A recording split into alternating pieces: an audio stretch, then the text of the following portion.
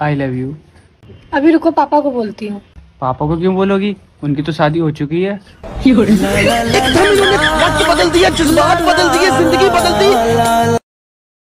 सुनो घर के सारे काम जल्दी से निपटा लो। वो मेरा सर दर्द। शॉपिंग पे चलना है। हो रहा था बिल्कुल ठीक है।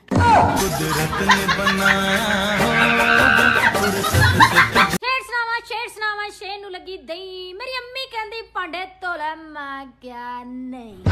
ਹਾਂ ਤੂੰ ਨਹੀਂ ਧੋਤੇ ਭਾਂਡੇ? ਨਹੀਂ ਨਹੀਂ ਕਿੱਥੇ? ਫਿਰ ਅੰਮੀ ਨੇ ਮੈਨੂੰ ਇੱਕ ਸ਼ੇਰ ਸੁਣਾਇਆ। ਅੰਮੀ ਕਹਿੰਦੀ ਸ਼ੇਰ ਸੁਣਾਵਾ ਸ਼ੇਰ ਸੁਣਾਵਾ ਸ਼ੇਰ। ਅੰਮੀ ਕਹਿੰਦੀ ਸ਼ੇਰ ਸੁਣਾਵਾ ਸ਼ੇਰ ਸੁਣਾਵਾ ਸ਼ੇਰ ਨੂੰ ਲੱਗੇ ਟੋਏ। ਮੈਂ ਅੱਜ ਦੇਣਾ ਇੰਟਰਨੈਟ ਕਟਾ ਜੇ ਤੂੰ ਭਾਂਡੇ ਨਾ ਧੋਏ। ਫਿਰ ਮੈਂ ਦਸਤੀ ਉੱਠ ਕੇ ਭਾਂਡੇ ਧੋਏ। ਮੋਏ ਮੋਏ। ਮੋਏ ਮੋਏ।